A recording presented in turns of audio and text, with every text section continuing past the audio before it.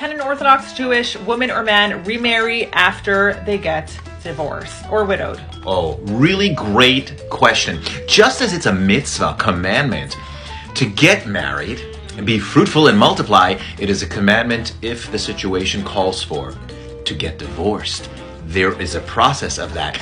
And if she wants to remarry, then she has to wait 90 days, three months. And this is to make sure that if she were to be with child, we don't want to be in confusion as to who is the, the daddy? father. That's right. Could it be from the first, the one she divorced?